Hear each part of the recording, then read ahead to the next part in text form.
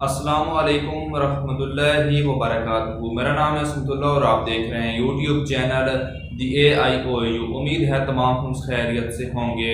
अलामा Iqbal open university के तलबा के लिए एक गुड न्यूज़ है, एक अच्छी खबर है, जिसके बारे में आज की इस वीडियो के अंदर आपको इन्फॉर्मेशन दे दी जाएगी। आप लोगों ने क्या करना है, वीडियो को लाइक कर देना है चैनल सब्सक्राइब कर देना है। कोई सवाल नीचे कमेंट कर दीजिएगा।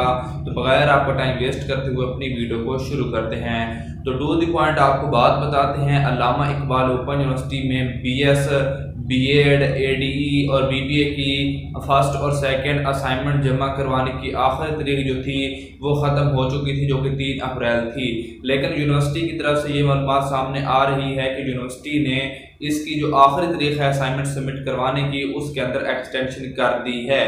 अभी दो तरीके से न्यूज़ आ रही है। एक ये कि 10 अप्रैल तक आप अपनी असाइनमेंट जमा करवा सकते हैं और दूसरी न्यूज़ ये आ रही है कि आप अपनी सेकेंड असाइनमेंट जो है, वो 14 अप्रैल तक जमा करवा सकते हैं। आपने क्या करना है? सबसे पहले अपना आगाही एल पोर्टल ओपन कर लेना है। आगाही एल पोर्टल ओपन करने के बाद वहाँ पर आपने देखना है कि एड सबमिशन का ऑप्शन आ रहा है या नहीं आ रहा। अगर वहाँ पर आपको एड्स मिशन का ऑप्शन नज़र आ रहा है तो आप अपनी फ़र्स्ट असाइनमेंट और सेकंड असाइनमेंट दोनों इकट्ठी अपलोड कर सकते हैं। और वहाँ पर अगर एड्स मिशन का ऑप्शन यूनिवर्सिटी ने रिमूव कर दिया है उसके ऊपर मैं अलहदा से वीडियो बनाऊँगा, लेकिन फिर भी आप असाइनमेंट अपलोड कर सकते हैं। अगर ऑप्शन नहीं भी है तो फिर भी आप असाइनमेंट अपलोड करेंगे।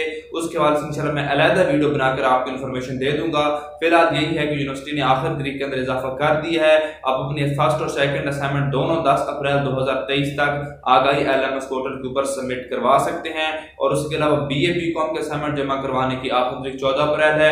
उन्होंने बजरिया डाक अपने असाइनमेंट्स भेजनी है तो आखिर तरीक से दो तीन दिन पहले ही उन्होंने अपने असाइनमेंट अपने ट्यूटर को बजरिया डाक या टीसीएस जमा करवा देनी है।